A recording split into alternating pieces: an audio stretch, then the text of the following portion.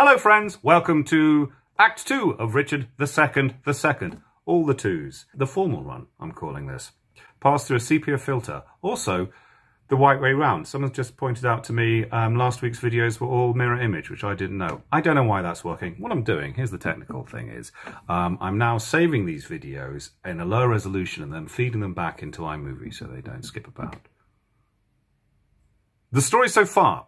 Edward's seven sons were as seven vials of his sacred blood, or seven fair branches springing from one root. The Duke of Gloucester has been murdered by the order of King Richard. He was murdered by Mowbray. Now, obviously the king is God's anointed, no one can do anything. The king is basically God.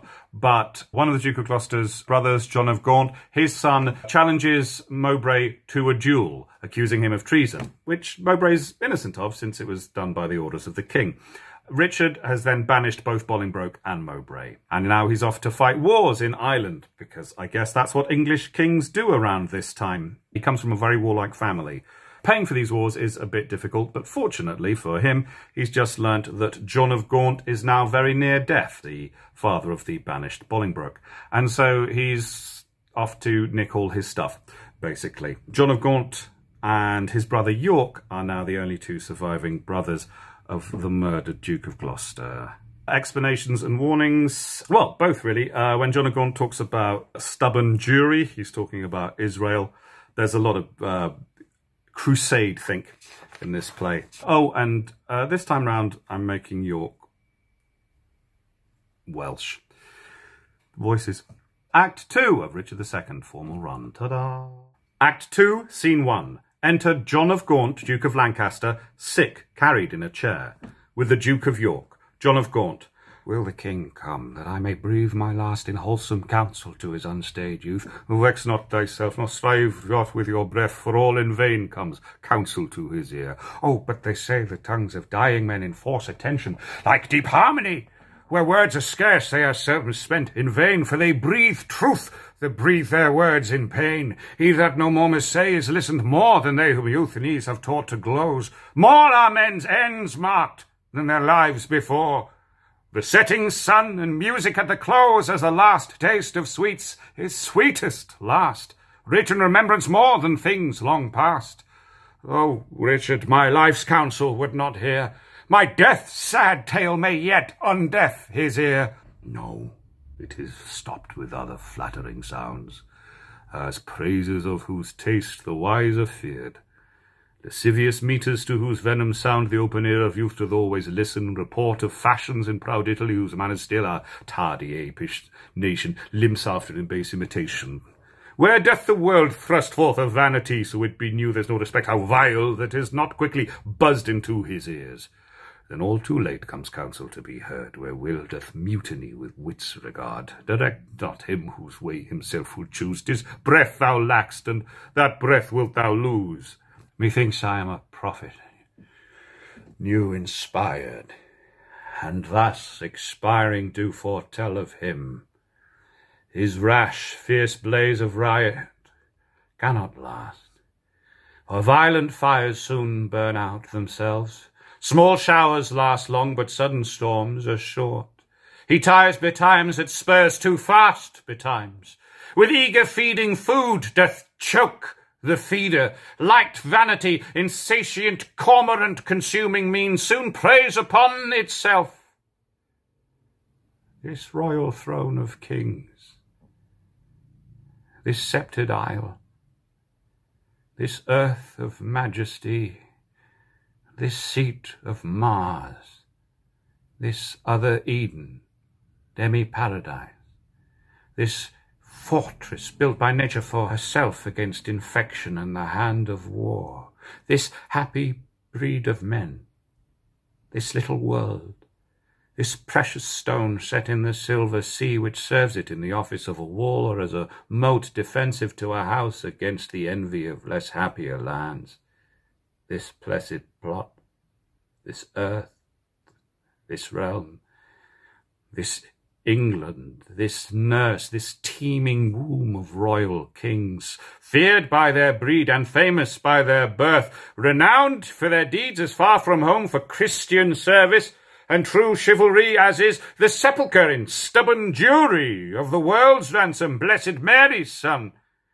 This land of such dear souls, this dear, dear land, dear for her reputation through the world, is now leased out. I die pronouncing it like to a tenement or a pelting farm. England bound in with the triumphant sea, whose rocky shore beats back the envious siege of watery Neptune, is now bound in with shame, with inky blots and rotten parchment bonds. That England that was wont to conquer others hath made a shameful conquest of itself. Ah, would the scandal vanish with my life, how happy then were my ensuing death. Enter King Richard and the Queen, the Duke of Aumale, Bushy, Green, Bagot, Lord Ross, and Lord Willoughby. The king is come, deal mightily with his youth, for young hot colts being reigned do rage the more. Queen, how fares our noble uncle Lancaster? King Richard, what comfort, man? How is't with aged Gaunt? Oh, how that name befits my composition. Old Gaunt indeed, and gaunt in being old. Within me grief hath kept a tedious fast, and who abstains from meat that is not gaunt? For sleeping England long time have I watched, watching breeds leanness. Leanness is all gaunt. The pleasure that some fathers feed upon is my strict fast, I mean my children's looks, and therein fasting hast thou made me. Gaunt, gaunt am I for the grave, gaunt as a grave whose hollow womb inherits naught but bones. Can sick men play so nicely with their names? No. Misery makes sport to mock itself, since thou dost seek to kill my name in me. I mock my name, great king, to flatter thee. Should dying men flatter those that live? No, no, no. Men living flatter those that die. Thou now a dying, sayest thou flatterest me? Oh, no. Thou diest, though I the sicker be. I am in health. I breathe and see thee ill. Now he that made me knows I see thee ill, ill in myself to see, and in thee seeing ill.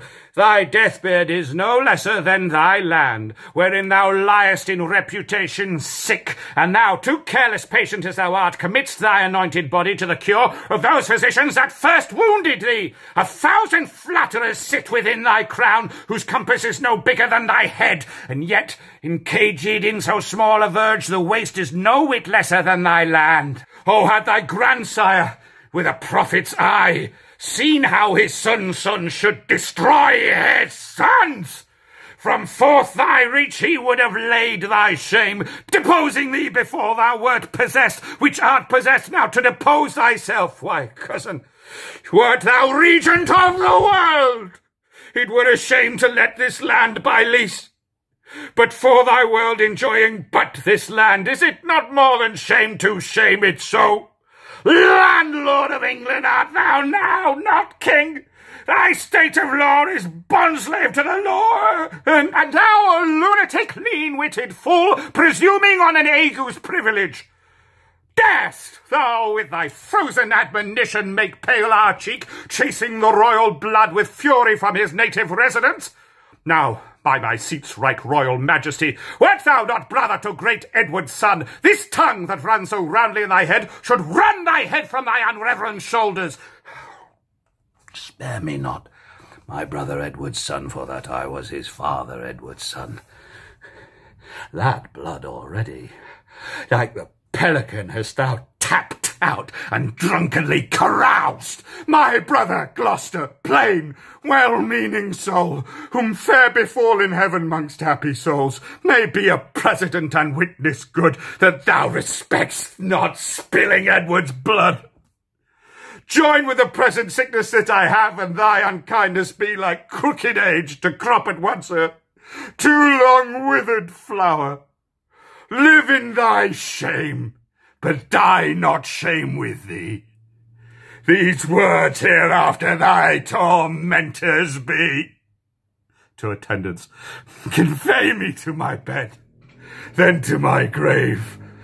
Love they to live that love and honour have. Exit, carried in the chair. And let them die that age and sullen have, for both hast thou, and both become the grave. York, I do beseech your majesty impute his words to wayward sickness and age in him. He loves you on my life and holds you dear as Harry Duke of Hereford were he here. Right. You say true. As Hereford's love, so his, as theirs, so mine, and all be as it is. Enter the Earl of Northumberland, my liege. Old Gaunt commends him to your majesty. What says he? Nay, nothing. All is said. His tongue is now a stringless instrument. Words, life, and all, old Lancaster hath spent. York, be York the next that must be bankrupt so. Though death be poor, it ends a mortal woe. The ripest fruit falls first, and so doth he. His time is spent. Our pilgrimage must be. So much for that. Now, for our Irish wars. We must supplant those rough, rug-headed kerns, which live like venom where no venom else, but only they have privilege to live. And for these great affairs do ask some charge towards our assistance. We do seize to us the plate coin revenues and movables whereof our uncle Gaunt did stand possessed. How long shall I stand patient, ah? How long shall tender duty make me suffer wrong? Not Gloucester's death, nor Hereford's banishment, nor Gaunt's rebuke, nor England's private wrongs, nor the prevention of poor Bolingbroke about his marriage, nor my own disgrace have ever made me sour my patient cheek or bend one wrinkle on my sovereign's face. For I am the last of noble Edward's sons, of whom thy father, Prince of Wales, was first. In war was never lion raged more fierce. In peace was never gentle lamb more mild than was that young and princely gentleman. Now his face thou hast, for even so looked he accomplished with the number of thy hours. But when he frowned, it was against the French, and not against his friends. His noble hand did win what he did spend, and spent not that which his triumphant father's hand had won. His hands were guilty of no kindred blood, but bloody with the enemies of his kin. Richard York is too far gone with grief, or else he never would compare between. Why, uncle, what's the matter? Oh, my liege. Pardon me, if you please. If not, I please not to be pardoned. am content with all. Seek you to seize and grip into your hands the royalties and rights of banished Hereford? Is not Gaunt dead, and doth not Hereford live? Was not Gaunt just, and is not Harry true? Did not the one deserve to have an heir? Is not his heir a well-deserving son? We take Hereford's rights away and, and take from time his charters and his customary rights. Let not tomorrow then ensue today. Be not thyself, for how art thou a king but by fair sequence and succession? Now, afore God, God forbid I say true, if you do wrongfully seize Hereford's rights, call in the letters patents that he hath by his attorneys general to sue his livery, and deny his offered homage, you pluck a thousand dangers on your head, you lose a thousand well-disposed hearts, and prick my tender patience to those thoughts which honour and allegiance cannot think. Think what you will, we seize into our hands his plate, his goods, his money, and his lands. Well, I'll not be by the while, my liege, farewell. What will ensue hereof, as none can tell, but by bad courses may be understood that their events can never fall out good. Exit. Go, Bushy, to the Earl of Wiltshire Straight. Bid him repair to us to Ely House to see this business. Tomorrow next we will for Ireland, and 'tis time, I trow. And we create, in absence of ourself, our Uncle York, Lord Governor of England, for he is just and always loved us well. Come on, our Queen, tomorrow must we part. Be merry, for our time of stay is short. Flourish!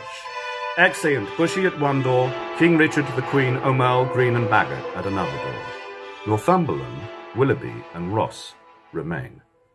Northumberland, well, lords, the Duke of Lancaster is dead. Ross, and living too, for now his son is Duke Willoughby, or barely in title, not in revenues, richly in both if justice had her right. My heart is great, but it must break with silence that be disburdened with a liberal tongue. Nay, speak thy mind, and let him ne'er speak more that speaks thy words again to do thee harm. Pretends that that thou wouldst speak to the Duke of Hereford, if it be so. Out with it boldly, man, quick is mine ear to hear of good towards him. No good at all that I can do for him, unless you call it good to pity him, bereft and gelded of his patrimony. Now, for God, 'tis shame such wrongs are born in him, a royal prince, and many more of noble blood in this declining land. The king is not himself, but basely led by flatterers, and what they will inform, million hate against any of us, all that will the king severely prosecute against us, our lives, our children, and our heirs. The commons hath he pilled with grievous taxes, and quite lost their hearts. The nobles hath he fined uh, ancient quarrels, and quite lost their hearts. And daily new exactions are devised as blanks benevolences, and I wot not what, but what a God's name doth become of this? Wars hath not wasted it.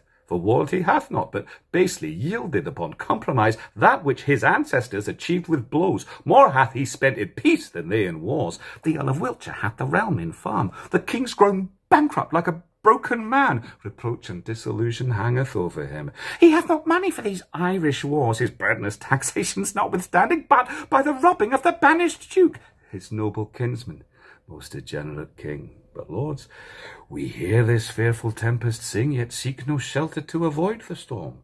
We see the wind sit sore upon our sails, and yet we strike not, but securely perish. Or we see the very wreck that we must suffer, and unavoided is the danger now, for suffering so the cause is of our wreck. Not so. Even through the hollow eyes of death, I spy life peering, but I dare not say how near the tidings of our comfort is. Nay, let us share thy thoughts as thou dost ours. Be confident to speak, Northumberland. We three are but thyself, in speaking so, thy words are but as thoughts. Therefore, be bold. Well, then thus. I have from Port le Blanc, a bay in Bretagne, received intelligence that Harry, Duke of Hereford, Reynold Lord Cobham, Thomas, son and heir to the Earl of Arundel, that late broke from the Duke of Exeter, his brother, Archbishop late of Canterbury, Sir Thomas Erpingham, Sir Thomas Ramston, Sir John Norbury, Sir Robert Waterton, and Francis Coit, all these well furnished by the Duke of Bretagne with eight tall ships, three thousand men of war, are making hither with all due expedience, and shortly mean to touch our northern shore. Perhaps they hear of this, but that they stay the first departing of the king for Ireland, if then we shall shake off our slavish yoke, imp out our drooping country's broken wing, redeem from broken pawn the blemished crown, wipe off the dust that hides our sceptre's guilt, and make high majesty look like itself. Away with me in post to Ravenspur, but if you faint as fearing to do so, stay and be secret, and myself will go. Ross. To horse! To horse! Edge doubts to them that fear! Willoughby will hold out my horse, and I will first be there! Exeunt. Scene two. Enter the Queen, Bushy, and Bagot. Bushy. Madam, your majesty is too much sad. You promised when you parted with the king to lay aside life-harming heaviness and entertain a cheerful disposition. Queen. To please the king. I did. To please myself, I cannot do it. Yet I know no cause why I should welcome such a guest as grief, save bidding farewell to so sweet a guest as my sweet Richard. Yet again methinks some unborn sorrow, ripe in fortune's womb, is coming towards me, and my inward soul at nothing trembles. With something it grieves more than with parting from my lord the king. Each substance of a grief hath twenty shadows, which shows like grief itself, but is not so.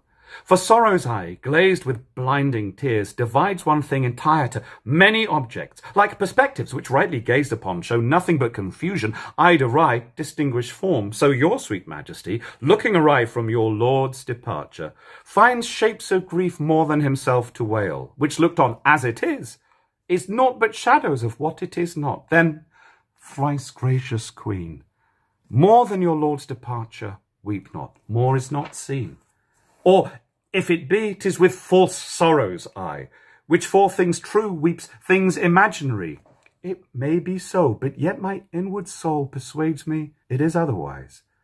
Howe'er it be, I cannot but be sad. So heavy sad as thought on thinking on no thought I think, makes me with heavy nothing faint and shrink. Tis nothing but conceit, my gracious lady. Tis nothing less. Conceit is still derived from some forefather grief. Mine is not so, for nothing hath begot my something grief, or something hath the nothing that I grieve. Tis in reversion that I do possess. But what it is that is not yet known what, I cannot name. Tis nameless woe, I wot. Enter Green. God save your majesty, and well met, gentlemen. Um, I hope the king is not yet shipped for Ireland. Why, hopest thou so? Tis better hope he is. For his designs crave haste, his haste good hope. Then wherefore dost thou hope he is not shipped? That he, our hope might have retired his power and driven into despair an enemy's hope, who strongly hath set footing in this land. The banished Bolingbroke repeals himself, and with uplifted arms is safe arrived at Ravenspurgh. Now God in heaven forbid! Ah, madam, tis too true, and that is worse. The Lord Northumberland, his son young Harry Percy, the lords of Ross, Beaumont, and Willoughby, with all their powerful friends, are fled to him. Why have you not proclaimed Northumberland and all the rest revolted faction traitors? Would we have, whereupon the Earl of Worcester hath broke his staff, resigned his stewardship, and all the household servants fled with him to Bolingbroke. So green thou art the midwife to my woe, and Bolingbroke my sorrow's dismal heir. Now hath my soul brought forth her prodigy, and I, gasping new delivered mother have woe to woe, sorrow to sorrow joined. Uh, despair not, madam. Who shall hinder me? I will despair, and be at enmity with cousining hope. He is a flatterer, a, a, a parasite, a keeper back of death, who gently would dissolve the bonds of life, which false hope lingers in extremity. Enter the Duke of York, wearing a gorget. Green. Here comes the Duke of York, with signs of war about his aged neck. Full of careful business are his looks. Uncle! For God's sake, speak comfortable words. Oh, should I do so, I should belie my thoughts. More comforts in heaven, and we are on the earth, where nothing lives but crosses, cares, and grief. Your husband he is gone to save far off, while others come to make him lose at home. Here am I left to underprop his land, weak with age cannot support myself. Now comes the sick hour that his surfeit made. Now shall he try his friends that flattered him. Enter serving man. My lord, your son was gone before I came. Oh, he was. Why, so go all which way it will. The nobles, they are fled. The commons, they are cold, and will I fear revolt on Hereford's side. Sirrah, get thee to Pleshy to my sister Gloucester. Bid her send me presently a thousand pound. Uh, or, uh, hold, take my ring. Uh, my lord, I had forgot to tell your lordship. Today, as I came by, I called there. But I shall grieve you to report the rest. Oh, what is, knave? An hour before I came, the Duchess died. God, for his mercy.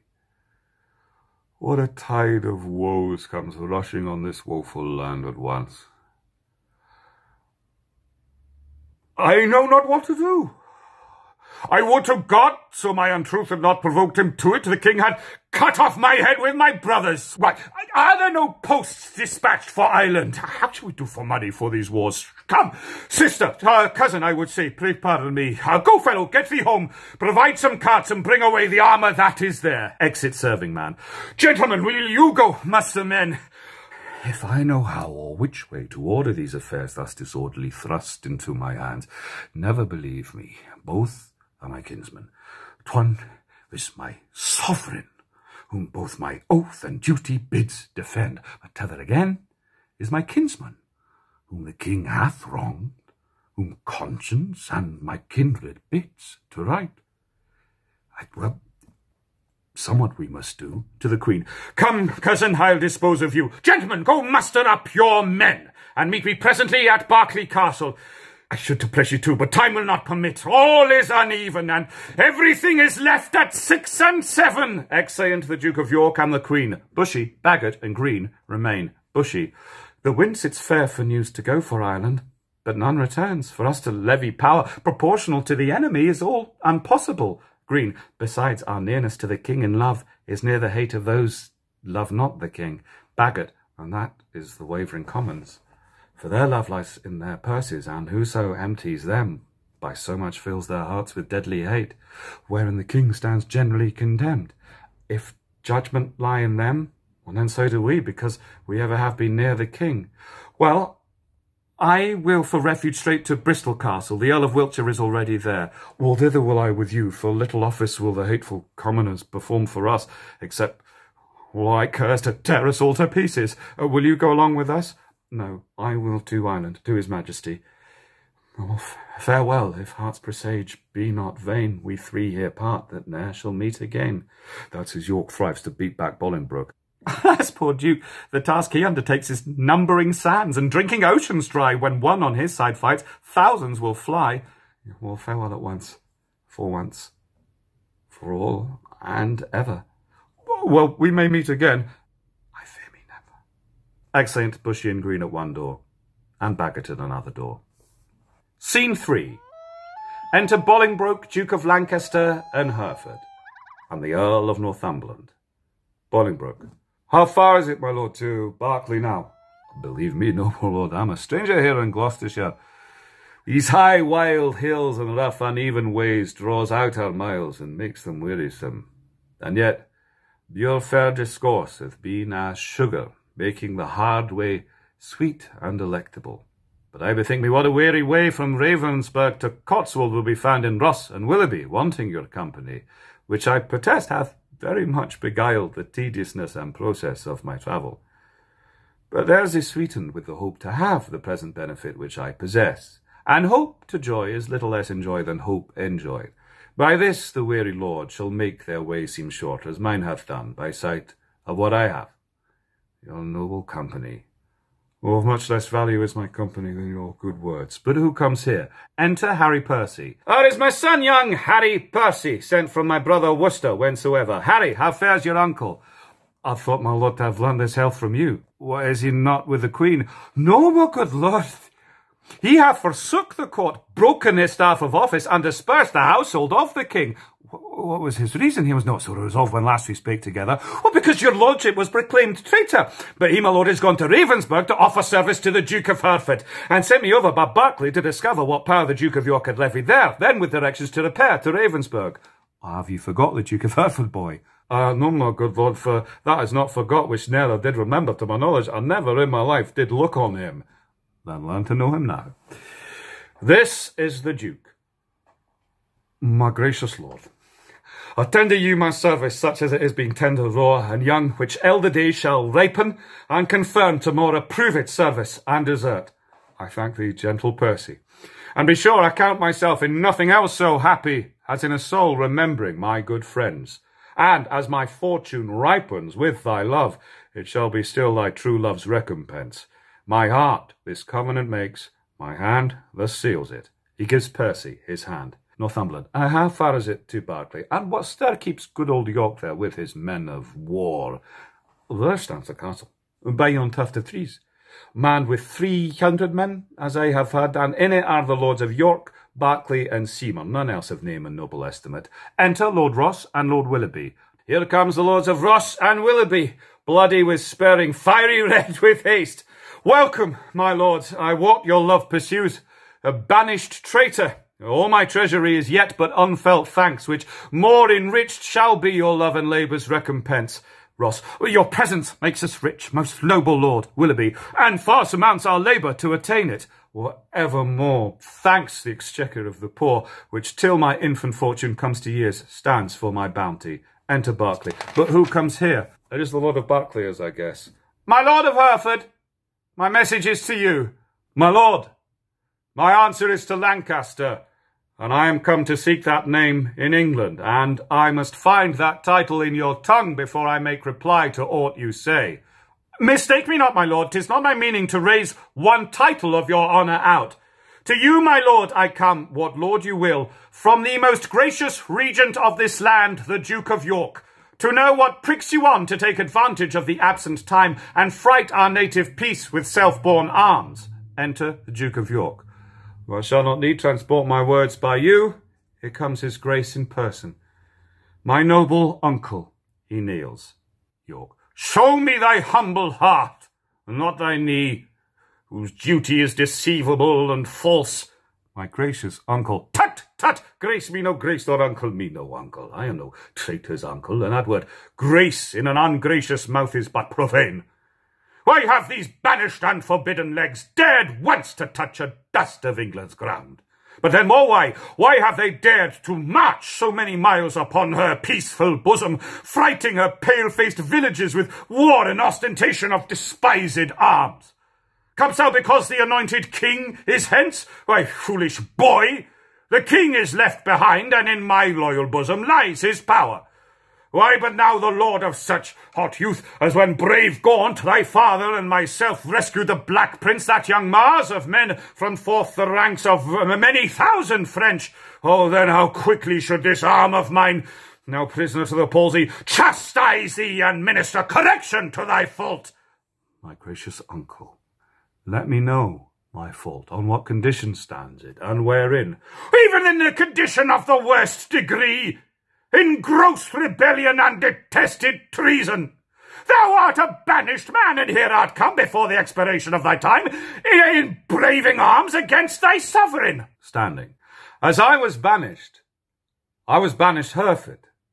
But as I come, I come for Lancaster. And, noble uncle, I beseech your grace, look on my wrongs with an indifferent eye.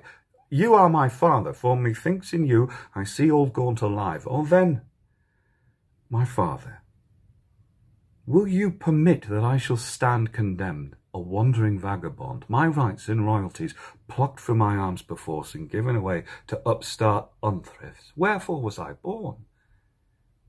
If that my cousin king be king in England, it must be granted I am Duke of Lancaster. You have a son, Aumerle, my noble kinsman. Had you first died, and he been thus trod down, well, you should have found his uncle Gaunt a father to rouse his wrongs and chase them to the bay. I am denied to sue my livery here, and yet my letters patents give me leave. My father's goods are all distrained and sold, and these and all are all amiss employed. What would you have me do? I am a subject under challenge law. Attorneys are denied me, and therefore, personally, I lay my claim to my inheritance of free descent. The noble Duke hath been too much abused. Ross, it stands your grace upon to do him right. Willoughby, base men by his endowments are made great. My lords of England, let me tell you this. I have had feeling of my cousin's wrongs, and laboured all I could to do him right. But in this kind to come, in braving arms, be his own carver, and cut out his way to find out right with wrong, or it may not be. And you that do abet him in this kind, cherish rebellion and are rebels all. Northumberland, the noble Duke hath sworn his coming is but for his own, and for the right of that, we all have strongly sworn to give him aid. And let him never see joy that breaks that oath.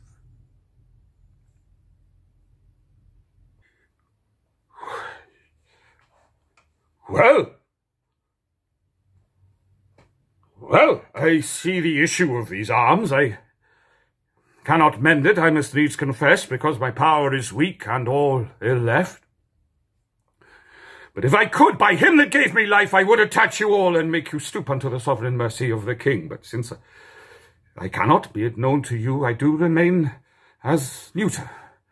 So fare you well. Unless you please to enter in the castle, and there repose you for this night. Bolingbroke. An offer, uncle, that we will accept, but we must win your grace to go with us to Bristol Castle, which they say is held by Bushy, Bagot, and their complices, the caterpillars of the Commonwealth, which I have sworn to weed and pluck away. Well, it may, maybe I will go with you, but yet I'll pause, for I am loath to break our country's laws. Nor friends nor foes to me welcome you are. Things past redress are now with me past care. Excellent. Scene 4. Enter the Earl of Salisbury, who we haven't met before, and a Welsh captain, not York. My lord of Salisbury, we have stayed ten days and hardly kept our countrymen together, and yet we hear no tidings from the king, therefore We will disperse ourselves. Farewell. Oh, stay yet another, thou trusty Welshman. The king reposeth all his confidence in thee. Tis thought the king is dead. We will not stay. The bay trees in our country are all withered, and meteors fright the fixed stars of heaven. The pale-faced moon looks bloody on the earth, and lean-looked prophets whisper fearful change.